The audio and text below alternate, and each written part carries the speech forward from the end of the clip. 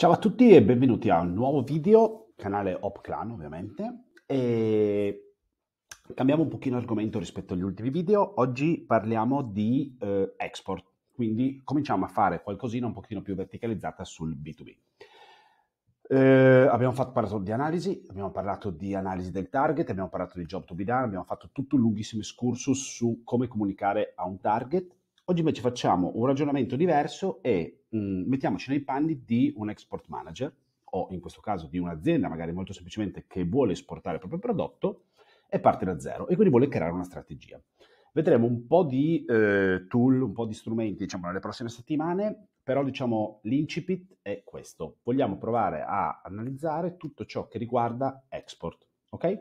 Quindi, primo sito eh, ovviamente di proprietà di Google utilizzato secondo me ancora non tantissimo, o comunque non, non conosciutissimo, e fa parte ovviamente del, del brand, no? Think by, by, with Google, e ovviamente parliamo di Market Finder.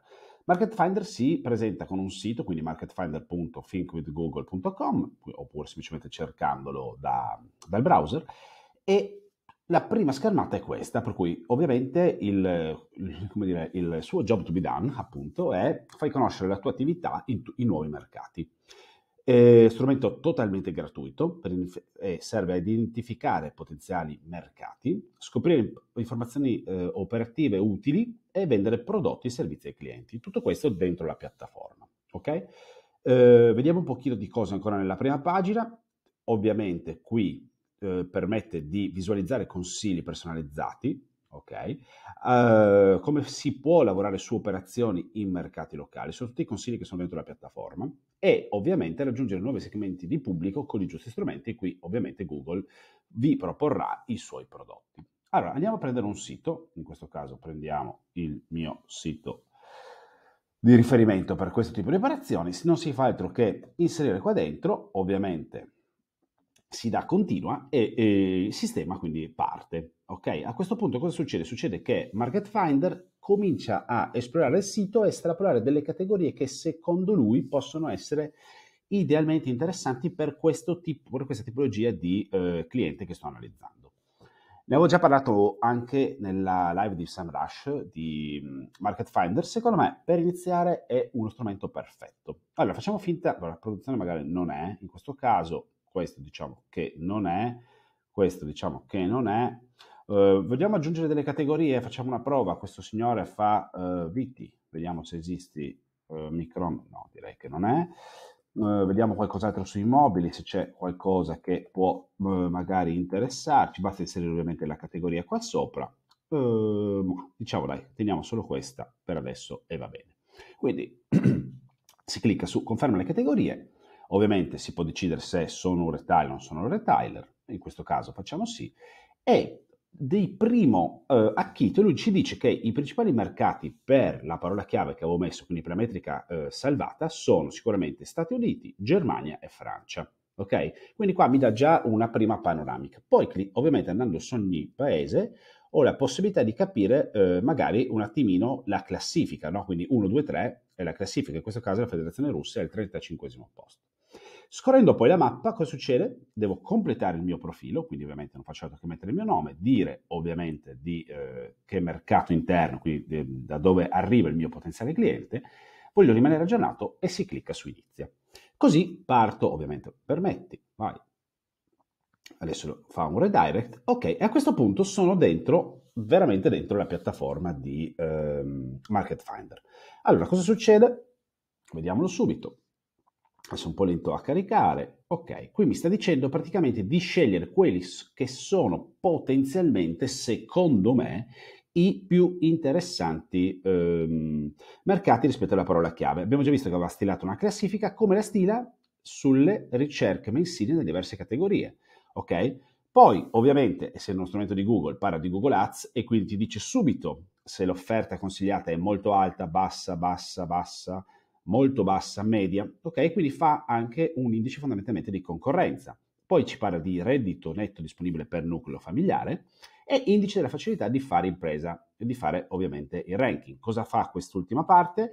Misura la facilità di fare imprese in un mercato in base a una classificazione da 1 a 190 e questi dati servono a comprendere il contesto normativo del paese, più, se, del paese più propizio all'avvio e alla gestione di un'attività locale. A questo punto vedete che ci sono tre spazi, quindi cosa devo fare? Devo andarmi a selezionare.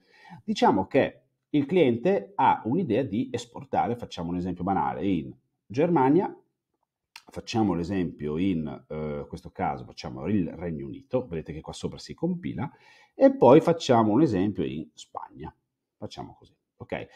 Consiglio sempre, se dovete fare poi operazioni su Google Ads, di dare comunque un'occhiata all'offerta, no? Perché potrebbe ovviamente avere un senso. Poi ovviamente qua posso filtrare i mercati, posso fare altre ricerche eh, se voglio andare un pochino più preciso, ma in questo caso ovviamente mi basta quello che ho fatto, quindi faccio conferma, ok?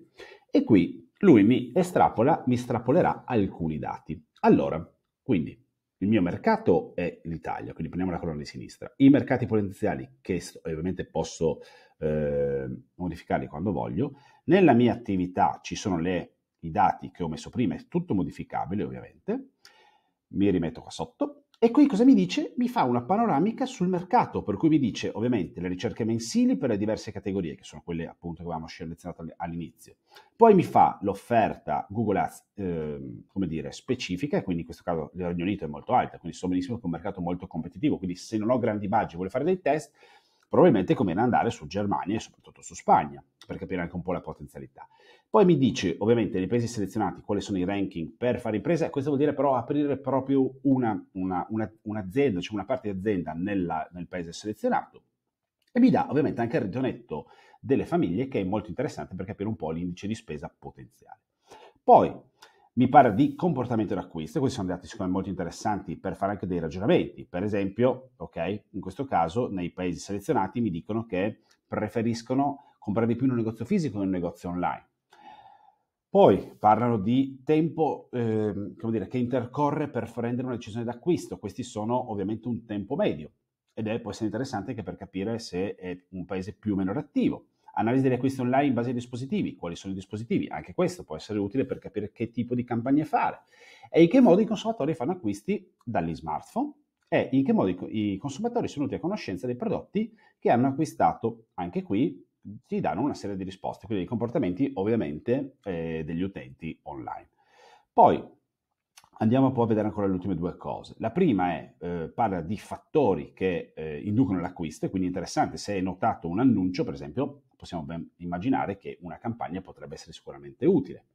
Eh, qua ci sono vari ed eventuali. Fattori emotivi, ok? Quindi se fattori più funzionali o più emotivi. Quindi cosa dice? È un'analisi dettagliata dell'importanza di fattori emotivi e funzionali che intervengono quando un consumatore prende una decisione di acquisto online, quindi se sono più razionali o meno razionali rispetto ai paesi che stiamo selezionando.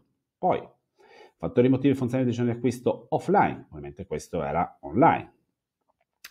Fattori determinanti per l'acquisto online, quindi anche qui ulteriori dati che posso andare tranquillamente a analizzare e capire se qualcuni di, o alcuni o tutti eh, questi dati mi possono essere utili per creare una strategia. Di base però, ricordiamoci che Google Market Finder, la, la tab più interessante è quella della panoramica, dove mi dà un po' la potenzialità per esportare il mio prodotto. Poi, ricerca e pubblicità qui mi dà altre informazioni che possono essere utili, in questo caso fonte di informazioni per le ricerche online e si va a capire un attimino quali sono i, i più utilizzati. In questo caso, per esempio, cosa possiamo vedere?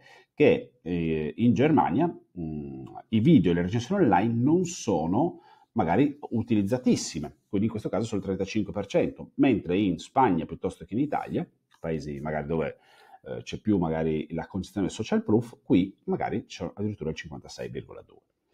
Fonte di informazione per ricerca offline, qui ovviamente ci sono sempre una serie di cose. Cosa potrebbe essere interessante in questo caso? Capire il tema delle fiere, dove magari le fiere ha un numero basso, non c'è un'incidenza bassa, probabilmente potrebbe avere senso invece fare delle operazioni più specifiche sul web, cioè dove ovviamente magari eh, viene più utilizzato il sistema di ricerca online piuttosto che fiera. Poi, ultimi esempi, eh, primo metodo utilizzato per cercare un prodotto, anche qui spiega un pochino e anche, insomma, fondamentalmente è un po' eh, una panoramica sul paese preso da vari eh, punti di vista e soprattutto un, un'incidenza anche sul pubblico.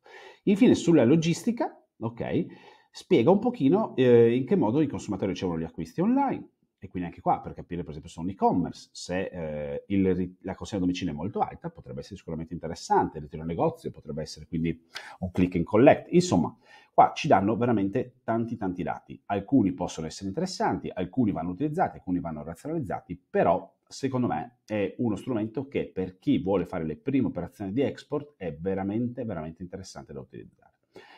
Qua sopra ci sono ancora delle tab che sono pianifica le operazioni, quindi ci sono del, del, delle informazioni che eh, Google fornisce, quindi le localizzazioni, i pagamenti, l'assistenza ai clienti, la logistica, cerca di personale, i requisiti fiscali. Cliccando ognuno di queste si entra in delle, degli approfondimenti e entra nel mercato del, eh, in questo caso della pubblicità, ci sono tutta una serie di strumenti che Google mette a disposizione, ovviamente in questo caso parliamo di Google Ads, per fare delle campagne per arrivare nei mercati che abbiamo selezionati. Quindi, recap, Google Market Finder sicuramente strumento utile per iniziare a razionalizzare se un paese potrebbe essere utile all'export.